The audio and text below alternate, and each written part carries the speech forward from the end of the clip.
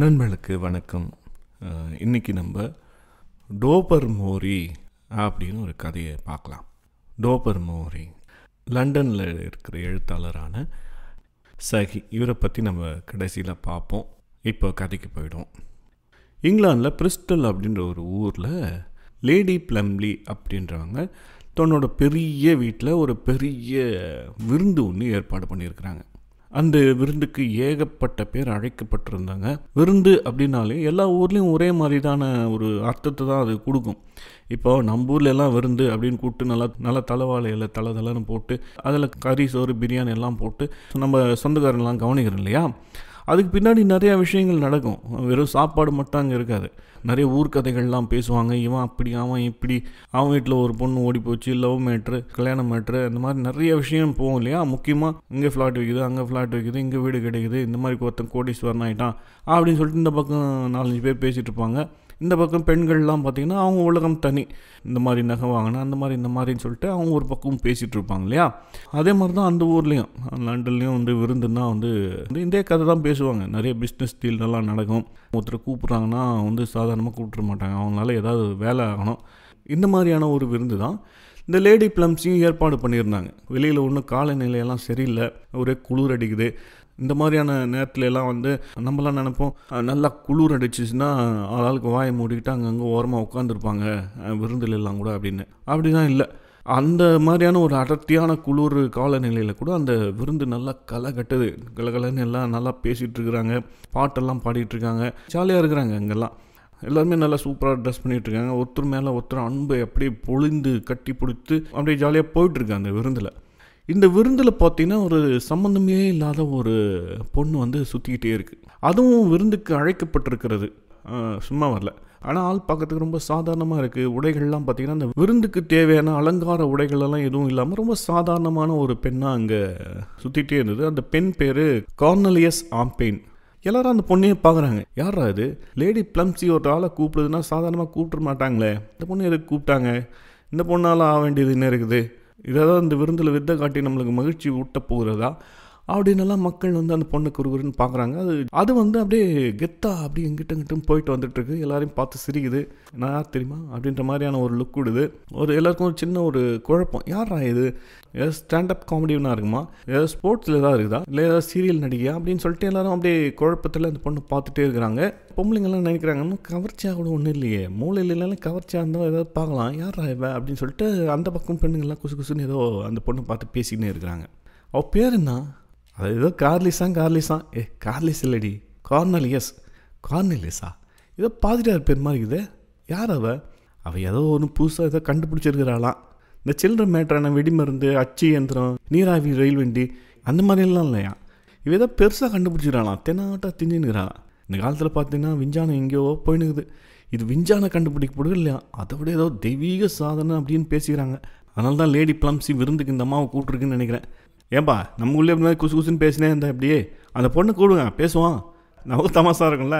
கூடுவா அப்படின்னு ஒருத்தர் சொன்னவனே சார் வில்பெட் வந்து அந்த அம்மாவை கூப்பிட்றாரு. ஏமா வாமா நீனும் ரொம்ப பெருசாக ஏதோ கண்டுபிடிச்சுன்னு சொல்கிறாமே இன்னும் இந்த மனுஷங்க பேசுகிறதெல்லாம் அப்படியே மிருகத்துக்கு கற்றுக் கொடுத்து அதுக்கு ட்ரைனிங் எல்லாம் பண்ணுறேன் ஏதோ பூனைக்கு ட்ரைனிங் கொடுத்து அதுவும் கலகலன்னு பேசுதாமே. நிஜமாவா? இதெல்லாம் நம்புற மாதிரியா இருக்குது அப்படின்னு வந்து ஆனஸை கூப்பிட்டு கேட்டோடனே ஆனஸ் அப்படியே கெத்தாக ஒரு மாதிரி அந்தால பார்த்துட்டு ஹலோ சார் வில்பிரெட். நீங்கள் தெரிஞ்சால் பேசுங்கள் கிட்டத்தட்ட பதினேழு வருஷம் இதுக்காக முயற்சி பண்ணிக்கிறேன் தெரியுமா? கடந்த ஒரு ஆறு மாதமாக தான் அதுக்கு கணிசமான ஒரு வெற்றி எனக்கு வந்து கிடச்சிருக்குது. ஆயிரக்கணக்கான மிருகங்களெல்லாம் வந்து நான் ஆராய்ச்சி பண்ணிக்கிறேன் தெரியுமா? புல் சாப்பிட்ற புள்ளிமான்லேருந்து புலால் சாப்பிட்ற புள்ளி வரையும் ட்ரை பண்ணிக்கிறேன் தெரியுமா? கடைசியில் பூனை தான் என் சோதனைக்கு சரியான பிராணி அப்படின்னு சொல்லிட்டு கண்டுபிடிச்சிருக்கேன். எவ்வளோ பெரிய அற்புதமான ஒரு பிரியாணி தெரியுமா அது? நம்ம கூட தான் வாழுது. நம்மளோட நாகரிகத்தை நம்ம பேசுறதெல்லாம் அது கேட்குது அதுக்கோசரம் அது முட்டாளாகலை. அப்படி இருந்தும் அதனோட அறிவு திறமைகளெல்லாம் அது தக்க வச்சுன்னு தான் இருக்குது பாவம் இத்தனை வருஷமாக ஒரு லட்சம் பேர் நம்ம இருக்கிறோன்னு வச்சுக்க அதில் வந்து ஒரு ரெண்டு மேதாவி வந்து அங்கங்கே பொறுக்கி நம்ம எடுக்கலாம். அந்த மாதிரி தான் பூனையிலையும் ஆயிரக்கணக்கான பூனைகள் இருந்தாலையும் அதுலேயும் ஒன்று ரெண்டு ஒரு மேதாவி இருக்க தான் செய்யுது. நானும் ஆயிரக்கணக்கான பூனைகளை பிடிச்சி துவைச்சி எடுத்து புழிஞ்சி காய போட்டு ட்ரைனிங் கொடுத்தாலையும் அதில் ஒன்று ரெண்டு தான் தேருது. அப்படி தேறி வந்து நானே ஆச்சரியப்பட்ட பூனை தான் வந்து இந்த டோபர் மோரி. அதை பார்த்தோன்னே எனக்கு தெரிஞ்சு போச்சு அது ஒரு மாதிரி அபூர்வமான பூனை அப்படின்னு சொல்லிட்டு. ஒரு வியக்கத்தக்க ஒரு தீட்சணமான ஒரு தீர்க்கமான ஒரு அறிவு அதுக்கிட்ட இருந்ததை நான் பார்த்து அப்படியே நானே வேந்து போயிட்டேன். அதுக்கு தான் நான் ட்ரெயின் கொடுத்துருக்கேன். அதுதான் என்னோட சிசிய புள்ள இப்போ நான் பேசினா பேசும் சொற்பொழிவு ஆட்டுறனா கூட ஆற்றும் இப்போ. பாருங்களா சாம்பிள் பாருங்களா. என்னோட முயற்சியில் நான் வெற்றி பெற்று இருக்கிறேன் அது அப்படின்னு சொல்லிட்டு அந்த கூட்டத்தையே அலற விட்டுற மாதிரி ஆனஸ் வந்து கையை காலை ஆட்டி இடையில இடையில மீட்டிங்லலாம் ரெண்டு பிஸ்கெட் எடுத்து சாப்பிடுவாங்கல்ல அந்த மாதிரிலாம் சாப்பிட்டு அங்கே இருக்கிறலாம் ஒரு மாதிரி ஆச்சரியப்படும்படி ஒரு ஸ்பீச்சை வந்து அங்கே கொடுக்குறாங்க. பேச்சு முடிஞ்ச உடனே அங்கே ஒரு பெரிய அமைதியே வந்து நிலவுது. எல்லாரும் ஆச்சரியமாக அந்த ஆனசியை பார்த்துட்டு இருக்கிறாங்க.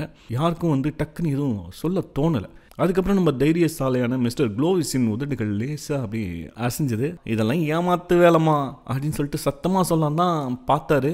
ஆனால் மற்றவங்களாம் ஆச்சரியத்தில் அப்படியே உறைஞ்சி போயிருந்தனால நம்ம சொன்ன எடுபடாதே அப்படின்னு சொல்லிட்டு தலையை கீழே குஞ்சிக்கிட்டாரு மிஸ் ரெஸ்கர் தான் தைரியமாக வாயை திறந்து அப்போது நீங்கள் ட்ரைனிங் கொடுத்த போன டோபர் மாதிரி நம்ம சொல்கிற சின்ன சின்ன வார்த்தைகளெல்லாம் வந்து புரிஞ்சுக்கிறோம் ஆ அப்படின்றீங்க.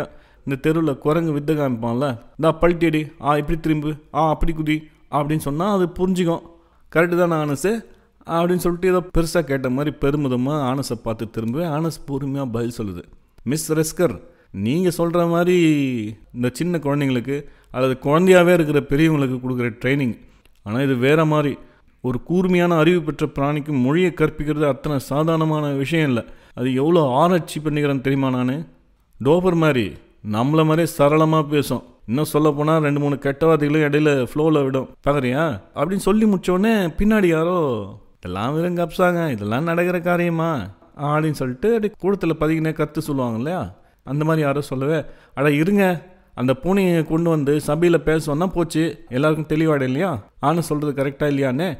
அப்படின்னு யாரோ சொல்லவே நம்ம மாவீரர் வில்பிரிட்டு அட இருங்க. நானே போய் பூனையை தேடி கண்டுபிடிச்சி கூட்டின்னு வரேன். இங்கே பேச வச்சிருவோம் ஏன் ஒரு பாட்டே பாட சொல்லுவோம் இருங்க அப்படின்னு சொல்லிட்டு ஏம்மா ஆனஸு இப்போ இந்த பூனை எங்கே இருக்கும்? அப்படின்னு உடனே ஆனஸ் இங்கே தான் இந்த வீட்டில் தான் இருக்குது. சமையல் கட்டில் இருக்கும்? தேடி பாருங்க. ஆ அப்படின்னு சொல்லவே சர் வில்பிரிட்டு அந்த ஆச்சரியமாக அந்த பூனையை தேடின்னு உள்ளே போகிறாரு மற்றவங்கெல்லாம் என்னடா இது? இதெல்லாம் நடக்கிற காரியமா ஆ அப்படின்னு சொல்லிட்டு அங்கங்கே அப்படி அப்படியே உட்காந்து பழையபடி ரியல் எஸ்டேட்டு பங்கு சந்தை அப்படி இப்படின்னு பேச ஆரம்பிச்சிட்டாங்க. ஒரே ரெண்டு நிமிஷம் தான். சல் வில்பிரிட்டு அவசர அவசரமாக அந்த விருந்து கொடுத்துக்கு கொடுக்குடுன்னு ஓடி வராரு. அவர் கண்ணெல்லாம் பார்த்தீங்கன்னா வேப்பில் விரிஞ்சு போயிருந்தது. ஆமாங்க அந்த பூனை பேசுதுங்க பேசுது ஆ அப்படின்னு வந்து சொல்கிறாரு அவர் பரபரப்பை பார்த்தாலே தெரியுது ஆமாம் அது உண்மைதான் அப்படின்னு சொல்லிட்டு. ஐயோ பேசுதுங்க. என்னால் நம்பவே முடியலைங்க. இன்னும் ஒரு நிமிஷம் தான் நானே மயக்கம் போட்டு விழுந்திருப்பேன் ஹலோ சார் மயக்கம் போட்டு விழுறது இருக்கிட்டான் என்ன பேசுனீங்க? என்ன பார்த்தீங்க? அதை சொல்லுங்கள் சொல்லிட்டு மயக்கம் போடுங்க. அப்படின்னு ஒருத்தர் யாரை கூட்டத்தில் கேட்கவே நான் சாப்பாட்டு அறைக்கு போனேன். போனேன் அங்கே தூங்கி இருந்தது. நான் எத்தி உசுப்பி எழுப்பி ஹலோ டீ குடிக்க வரியா? அப்படின்னு தான் கேட்டேன். அது மெதுவாக கண்ணை திறந்து மௌனமாக என்னை பார்த்துச்சு. பார்த்த உடனே உனக்காக எல்லாம் காத்துன்னு இருக்கிறாங்க. டீ சாப்பிட்டு வா ஆ அப்படின்னு சொன்னது தான் மிச்சம். அது அப்படியே மெதுவாக என்னை பார்த்து இப்போ எனக்கு டீ வேணாம் எப்போ தேவையோ அப்போ வர்றேன். ஆ? போ. தேங்க வா. அந்த ஜிப்பை போடணும்ப்பா ஜிப்பை விட போடாமல் பார்ட்டிக்கு வந்துட்டேன். போ பெரியவங்கள யாராவது அனுப்புப்பா வந்துட்டான். ஃபீயை குடி ஓ மை காட் நான் இங்கே மயக்கம் போட்டு விழுந்துருப்பேங்க. பூனை பேசுதுங்க. அப்படின்னு சொல்லிட்டு ஒரு ஈசி சேரில் ஒரு ஈசி சேரில் அப்படியே தோப்புன்னு உக்காந்துட்டாரு.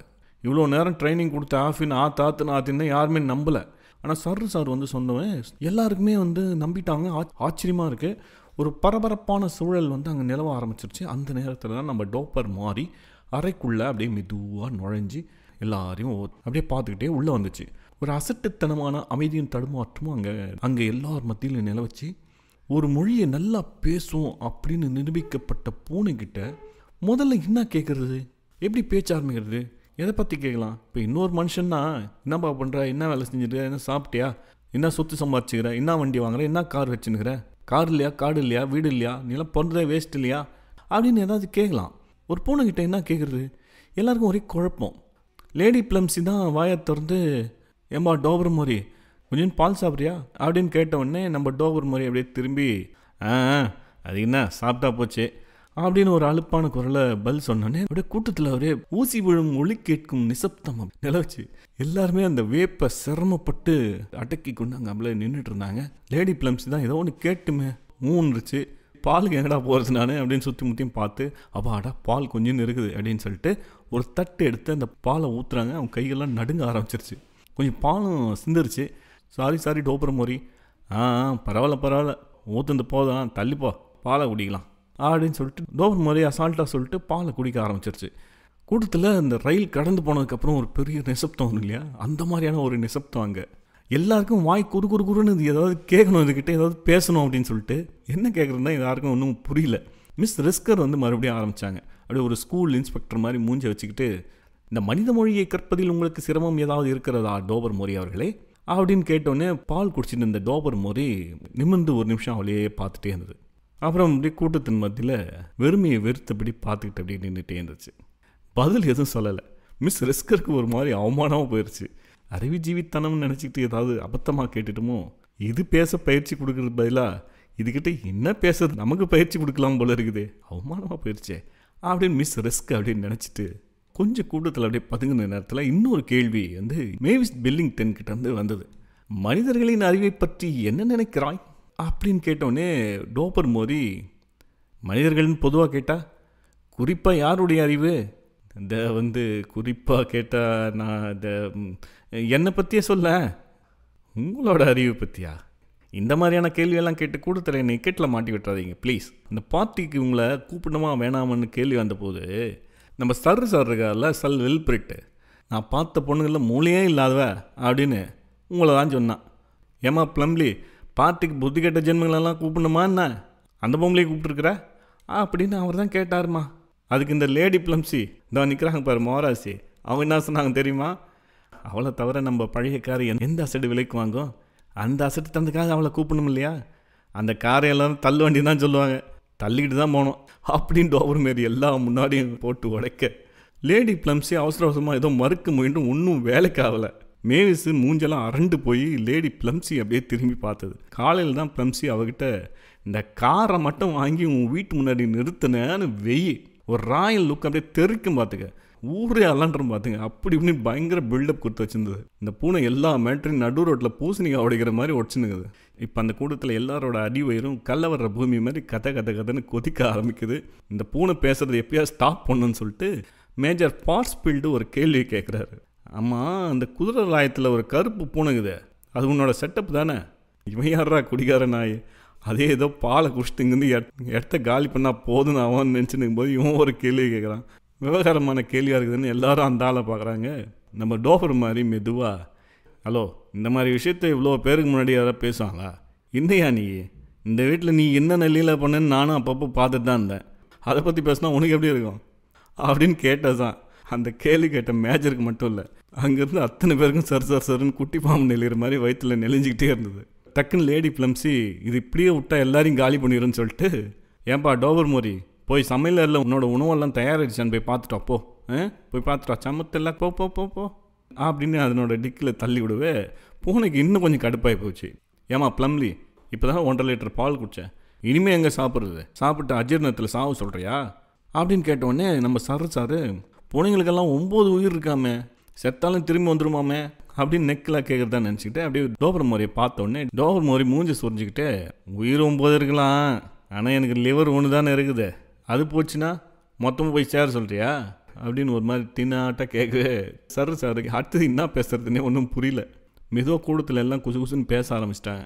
இது போய் எல்லாருக்கும் நம்மளை பற்றி எல்லாம் சொல்லி வைக்க போகுது. இது சும்மா படுக்கிற ஜன்னலுக்கு வெளியில் திட்டில் அங்கங்கே உட்காந்து புறாங்களை வேடிக்கை பார்த்துன்னு தான் நினச்சேன். ஆனால் இது வேறு விவகாரம்லாம் கவனித்து வச்சுருக்குது. இது போய் வெளியே சொன்னால் இன்னத்துக்கு ஆறுது. பேய் அறிஞ்ச மாதிரி ஒருத்தர் ஒருத்தர் பார்த்து ஒரு மாதிரி சல சல சலன்னு பேச ஆரம்பிச்சிட்டாங்க.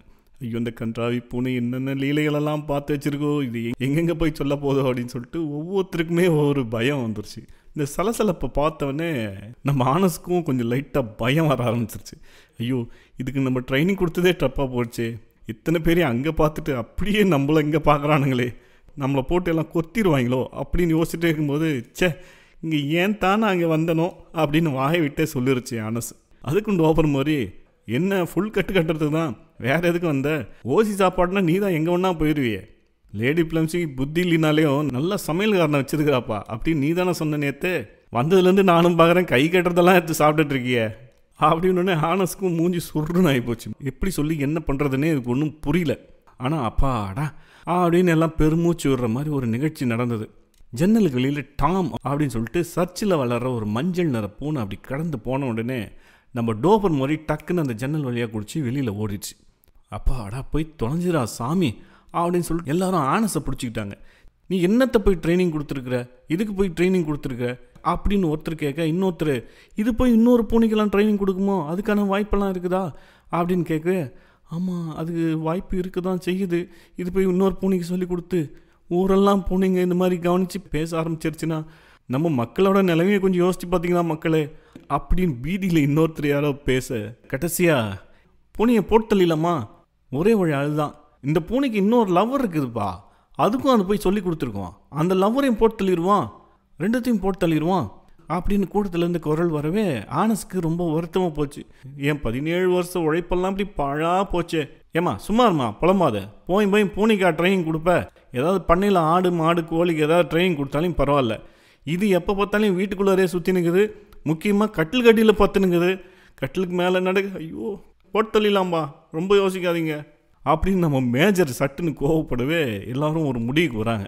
சரி இந்த பூனையை வந்து ரெண்டுத்தையும் போட்டு தள்ளிடுவான் அது விரும்பி சாப்பிடக்கூடியது வந்து மீன் சிப்ஸு. அதில் விஷத்தை கலந்து கொடுத்துருவோம். அப்படின்னு வந்து முடிவு பண்ணுறாங்க இந்த பூனைக்கு ஒரு லவ்வர் இருக்குது. ஆமாம் ஆமாம் அது குதிரை லாயத்தில் இருக்கும் அதை தண்ணியில் அமைக்க அப்படியே கொண்டுரு நான். அப்படின்னு சொல்லிட்டு நம்ம சாரு சாருன்னு சொல்கிறாரு ஒரு வழியாக எல்லாருக்கும் ஒரு டீல் கலந்த ஒரு திருப்தி ஏற்படுது.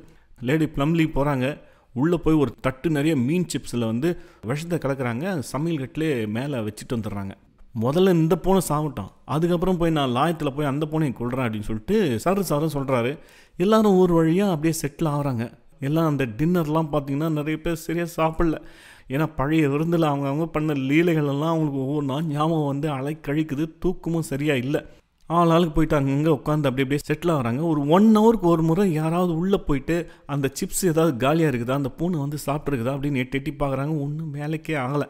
நைட் ஆயிடுச்சு நைட் ஆனதுக்கப்புறமும் அந்த டோபர் மொழி அந்த பக்கம் தலை வச்சு படுகிற மாதிரியே இல்லை. அந்த மீன் சிப்ஸு அப்படியே விஷம் கலந்த மீன் சிப்ஸு அங்கேயே தான் கிடக்குது. கடைசியாக நம்ம மேஜர் போய் எட்டி பார்த்துட்டு வந்து ஏமா அந்த பூனை உஷாராயிடுச்சுப்பா. நல்லா வர மாதிரி தெரியல. அதனால் பட்டு தூங்குப்பா காலைல பார்த்துக்கலாம். அப்படின்னோடனே சரின்னு சொல்லிட்டு எல்லோரும் அவங்கவுங்க ஒதுக்கப்பட்ட அறைகளுக்கு அங்கங்கே போயிட்டு அப்படி அப்படியே செட்டில் ஆகி அன்றைக்கி நைட் அப்படியே தூங்கிடுறாங்க. மறுநாள் எழுந்த உடனே குடு குடு ஓடி போய் அந்த மீன் சிப்ஸ் விழிச்ச தட்டு தான் பார்க்குறாங்க. அது அப்படியே தான் இருக்குது. நைட்டு ஃபுல்லாக டோவர் மாதிரி வரல. மேனேஜருக்கு கிளி விழுந்தது இறங்கவே இல்லை. ஏன்பா இது ஏன்னா பத்திரிக்கை ஆஃபீஸ் போயிருக்குமாப்பா அங்கே போய் உதவி ஆசிரியர்கிட்ட நான் கண்ட ரகசியங்கள் அப்படின்னு ஏதாவது ஒரு புத்தகம் எழுத உட்காந்துருச்சாப்பா அப்படின்னு வந்து பீதியாக ஒவ்வொருத்தரையாக போய் எழுப்புறாரு. ஏன்பா அந்த பூனை சாவலப்பா என்னப்பா பண்ணுறது அப்படின்னு சொல்லிட்டு. எல்லாருமே கலவரமாக அந்த காலை நேரத்தை எழுந்து ஒவ்வொருத்தராக போகிறாங்க வராங்க. ஒருத்தர் வந்து குடுகுடுன்னு ஓடி வந்து அந்த நடுக்கூடத்தில் நின்று கத்துறாரு. வெற்றி வெற்றி வெற்றி. டோவர் மாதிரி செத்து போச்சு டோவர் மாதிரி செத்து போச்சு அப்படின்னு சொல்லிட்டு. எப்பட்றா மீன் சிப்ஸ் அப்படியே தானடா இருக்குது? எப்படா செத்துச்சு அப்படின்னா அந்த டாம் மஞ்ச பூனைக்கும் அதுக்கும் பயங்கர சண்டை. அந்த குதிரை லாயத்தில் இருக்குது இல்லையா டோபரோட லவ்வரு. அது யாரோட ஆளுன்னு சொல்லிட்டு ரெண்டு பேருக்கும் பயங்கர சண்டை போட்டு அந்த மஞ்சள் பூனை டோபர் மோரி மூஞ்சி பிச்சு கிடா சிரிச்சு. முதல்ல பாவம் செத்து கிடக்குது அதனோட நிலத்துல எல்லாம் வந்து மஞ்சள் ரோமமெல்லாம் இருக்குது. ஆ அப்படின்னு சொன்னோடனே ஆவாடா. எப்படியே செத்து ஓஞ்சிச்சுடா சாமி. ஏம்மா ஆனஸு இந்த மாதிரி விபரீதமெல்லாம் எடுக்காதம்மா. அப்படின்னு வந்து ஆனஸ்க்கு ஆள் ஆளுக்கு வந்து அறிவுரை சொல்கிறாங்க ஒரு மாதிரி பாராட்டுற மாதிரி ஏதோ ரெண்டு மூணு வார்த்தை சொல்கிறாங்க ஆனஸ்க்கு தான் பாவம். பதினேழு வருஷம் உழைப்பு. இப்படி பாழாக போச்சு அப்படின்னு சொல்லிட்டு வருத்தத்தோடு இருக்குது ஆனஸ் இதெல்லாம் ஒரு வழியாக முடிஞ்சு விருந்தெல்லாம் முடிஞ்சு ஆள் ஆளுக்கு அவங்கவுங்க அவங்க வீட்டை பார்த்து போயிடுறாங்க. அதுக்கப்புறம் சில நாள் கழித்து லேடி பிளம்லியும் அவரோட கணவரும் உட்காந்து ரிலாக்ஸாக காஃபி குடிச்சுன்னு பேப்பர் வந்து படிச்சுட்ருக்காங்க. ஏங்க ஏங்க இந்த பேப்பரில் ஒரு அதிசயத்தை பாருங்கள் என்ன? நம்ம ஜூவில் ஒரு யானை இருக்கும் தெரியுங்க ஞாபகம் இருக்கா? ஆமாம் நல்ல யானை. நான் கூட நாலு நாள் கொடுத்து ஆசீர்வாதம்லாம் வாங்கியிருக்கிறேன். அந்த யானை தாங்க. ஆமாம் அது என்னாச்சு? குட்டி ஏதாவது போச்சா? இல்லை மதம் முடிச்சிச்சான் ஐயோ அப்புறம்? ஒரு ஆள் தூக்கி போட்டு சாணி மிதிக்கிற மாதிரி சத்தக்குன்னு மிதிச்சிச்சான் அச்சியோ என்னாச்சு? இந்த ஆனஸு சும்மா இல்லாமல் ஏதோ தமிழ் மொழியாமல் ஆமாம் இந்தியாவில் பழங்காலத்து மொழி அந்த தமிழ் மொழியில் சங்க இலக்கியன்னு ஏதோ ஒன்று இருக்குதான். அதை போயிட்டு ஜூவில் இருக்கிற யானைக்கு சொல்லி கொடுக்குறேன்னு ட்ரைனிங் கொடுத்துருக்குறா. அந்த யானை கடுப்பாகி காண்டாகி மதம் பிடிச்சி ஒரே தூக்கி போட்டு ஒரே அமுக்கு. கச்சுக்கு முடிஞ்சிச்சு ஆனஸ் கதையும் முடிஞ்சிச்சு நம்ம டோபர் மாதிரி பூனை கதையும் முடிஞ்சு போச்சு. இந்த சச்சி ஃபாதருக்கு நான் ஒரு லெட்டர் எழுதுறேன். எதுக்கு? அவரோட டாம் மஞ்சள் போன தானே நம்ம டோமர் மாதிரியை கொண்டுருச்சு அநியாயமா? சபாடா நீங்களாம் திருந்த மாட்டீங்கடே அப்படின்னு சொல்லிட்டு சார் சார் பேப்பரை தூக்கி போட்டு போயிட்டார். அவ்வளோதாங்க கதை. கதை பேர் டோபர் மோரி. இதை எழுதினர் வந்து சஹி ஹெச்ஹெச் முன்ட்ரோ ஆயிரத்தி எட்நூற்றி எழுபதில் வந்து பர்மாவில் தான் பிறந்திருக்கார். அதுக்கப்புறம் லண்டனில் ஆயிரத்தி எட்நூற்றி தொண்ணூற்றி ஆறில் வந்து போயிட்டு செட்டில் ஆகிட்டுக்கிறார் ஒரு போரில் ஈடுபட்டு அங்கே உயிர் திறந்திருக்கார் இந்த மாதிரி ஆசியமான நிறைய கதைகள் வந்து எழுதியிருக்கிறார். நன்றி நண்பர்களே. மகிழ்ச்சியாக இருங்க நண்பர்களே. சந்தோஷமாக இருங்க. இது சே சிவகுமார். நன்றி வணக்கம்.